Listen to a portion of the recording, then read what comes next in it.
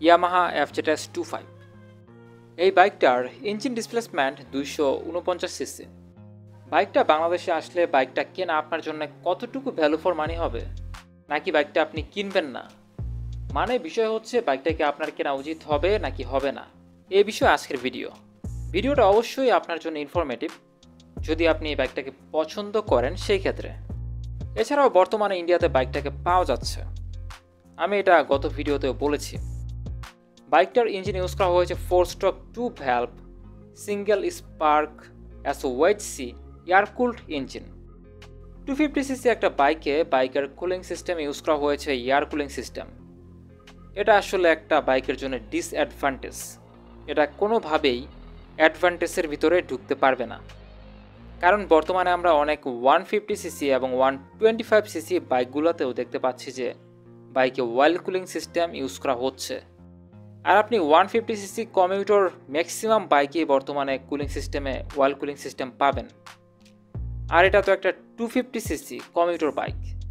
এখানে তো অবশ্যই ওয়াল কুলিং সিস্টেম থাকা প্রয়োজন ছিল। যেহেতু বাইকে ওয়াল কুলিং সিস্টেমটা নাই, এই বাইকটা অবশ্যই পিছিয়ে থাকবে অন্যান্য বাইকের তুলনায়।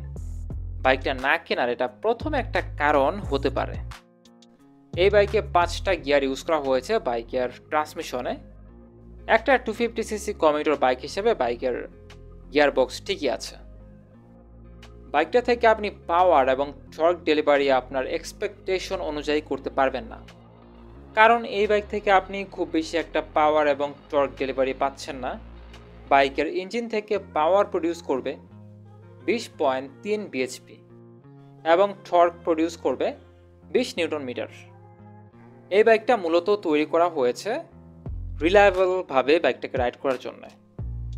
এখানে টপ স্পিড বা বাইকটাকে টানাটানি করার জন্য এই বাইকটাকে তৈরি করা হয় নাই। যারা স্পিড লাভার রয়েছেন, তাদের বাইকটাকে অ্যাভয়েড করা উচিত। আর যারা কমফোর্টেবলভাবে একটা কমিউটর বাইক রাইড করতে চান, তাদের জন্য এই বাইকটা বেস্ট একটা ডিল হবেই। কারণ এই বাইকটা যথেষ্ট কমফোর্টেবল আর এফজেডএস সিরিজের প্রত্যেকটা বাইকই মূলত তৈরি করা হয়েছে। কমফোর্টেবলভাবে বাইক রাইড করার জন্যে। এখন পর্যন্ত যতগুলো বাইক সিরিজ রয়েছে, সব ধরনের বাইক থেকেই, বিশেষ করে আমাদের ইন্ডিয়া এবং বাংলাদেশে এফজেডএস সিরিজের বাইকগুলো সবচাইতে বেশি কমফোর্টেবল এই বাইককে ছাড়িয়ে যেতে এখন পর্যন্ত কোনো বাইক পারে নাই কমফোর্টের দিক থেকে। বাইকে ফুয়েল সাপ্লাই সিস্টেম ইউজ করা হয়েছে ফুয়েল ইঞ্জেকশন বা এফআই আপনি প্রতি লিটার ফুয়েলে বাইকটা থেকে মাইলেজ পাবেন। তিরিশ কিলোমিটার বা বত্রিশ কিলোমিটার, এর বেশি মাইলেজ পাওয়া যাবে না। ম্যাক্সিমাম ক্ষেত্রে আপনার মাইলেজ তিরিশ কিলোমিটার থেকেও কিছুটা কমবে।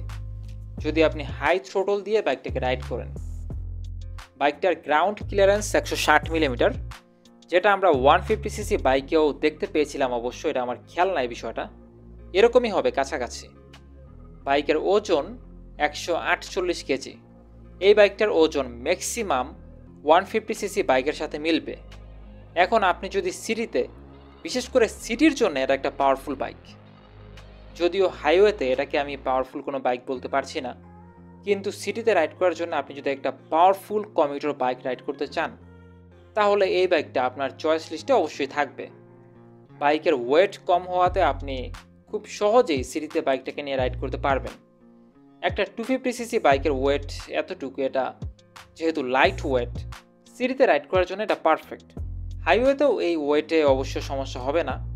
হাইওয়েতেও এই ওয়েটে আপনি যথেষ্ট কমফোর্টেবলভাবেই রাইড করতে পারবেন।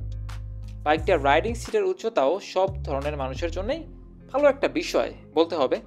কারণ এই বাইকটার রাইডিং সিটের উচ্চতা সাতশো পঁচানব্বই মিলিমিটার এই জন্যে আপনার উচ্চতা যদি পাঁচ ফুট দুই বা তিনও হয়, আপনি বাইকটাকে রাইড করতে পারবেন। একটা টু ফিফটি সিসি বাইক যদি আপনার উচ্চতা পাঁচ ফুট দুই বা তিন থেকে রাইড করতে পারেন, এরা একটা ভালো অপশন তো হতেই পারে। আর যাদের উচ্চতা বেশি, তাদের জন্য বাইকটা রাইড করতে কোনো প্রকার প্রবলেম হবে না। চোদ্দ লিটার একটা ফুয়েল ট্যাঙ্কের ক্যাপাসিটি ইউজ করা হয়েছে বাইকে বাইকের ব্রেকিং সিস্টেমও যথেষ্ট স্ট্রং বাইকের দুই চাকাতেই লার্জ ডিসপ্লে এবং ইউজ করা হয়েছে ডুয়াল চ্যানেল এবিএস এফজেটাস বাইক তো এমনিতেই কমফোর্টেবল এছাড়াও বাইকে ডুয়াল চ্যানেল এবিএস আপনি খুবই কমফোর্টের সাথে বাইকটাকে রাইড করতে পারবেন। আপনার বাইকের ব্রেকিং নিয়েও কোনো প্রকার হ্যাসেল ফেস করতে হবে না।